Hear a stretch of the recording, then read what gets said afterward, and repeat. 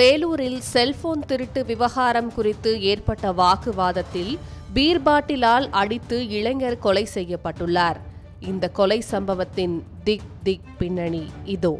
Meenakshi college of nursing Mangadu and Arulmigu Meenakshi college of nursing Kanchipuram BSc MSc and post basic BSc Vellore மாவட்டம் வசந்தாபுரம் இந்திரா நகரை சேர்ந்தவர் ஜெயபிரகாஷ். இவர் மீது வேலூர் மாவட்டத்தில் உள்ள பல்வேறு காவல் நிலையங்களில் இருசக்கர வாகன திருட்டு மற்றும் செல்போன் வழிப்பறி உள்ளிட்ட பதினான்கு வழக்குகள் நிலுவையில் உள்ளன. இந்நிலையில் வசந்தாபுரம் நேரு தெருவில் உள்ள நண்பரின் பிறந்தநாள் விழாவில் நேற்று முன்தினம் இரவு ஜெயபிரகாஷ் கலந்து கொண்டார். அதே பிறந்தநாள் விழாவில் நேரு நகரை சேர்ந்த வசந்த் தனுஷ் ஐயப்பன் சக்தி அருண் பாண்டியன் மற்றும் ஐயனார் ஆகியோரும் கலந்து கொண்டனர். அப்போது நண்பர்கள் அனைவரும் ஒன்றாக மது குடித்துள்ளனர். ஜெயபிரகாஷ் மது குடித்துவிட்டால் யாரிடமாவது வீண்வம்பு செய்து சண்டை இழுப்பதை வாடிக்கையாக வைத்துள்ளதாக கூறப்படுகிறது. இந்நிலையில் பிறந்தநாள் விழாவிலும் ஜெயபிரகாஷ் அங்கிருந்தவர்களிடம் மது போதையில் தகராறில் ஈடுபட்டுள்ளார். மேலும் கடந்த சில மாதங்களுக்கு முன்பு ஜெயபிரகாஷ் நேரு நகரை சேர்ந்த ஒருவரது செல்போனை திருடியுள்ளார்.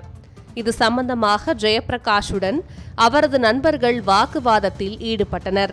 இந்த வாக்குவாதமானது முற்றி கைகலப்பாக மாறியுள்ளது. இதில் ஆத்திரமடைந்த வசந்த் தனுஷ் சக்தி ஆகிய மூன்று நண்பர்கள் சேர்ந்து ஜெயபிரகாஷ் மற்றும் ஐயப்பன் மீது பீர் பாட்டில் மற்றும் கற்களை வீசியுள்ளனர்.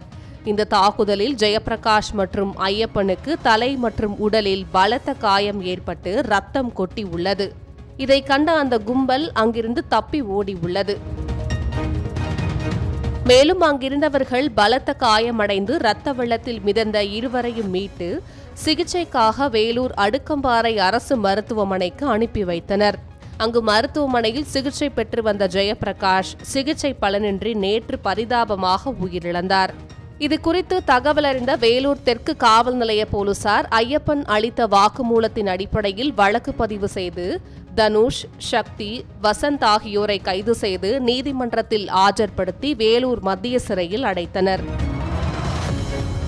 மேலும் இந்த கொலை வழக்கில் தொடர்புடைய தலைமறைவாக உள்ள மூன்று பேரை பிடிக்க இரண்டு தனிப்படைகள் அமைத்து போலீசார் வலை வீசி தேடி வருகின்றனர்.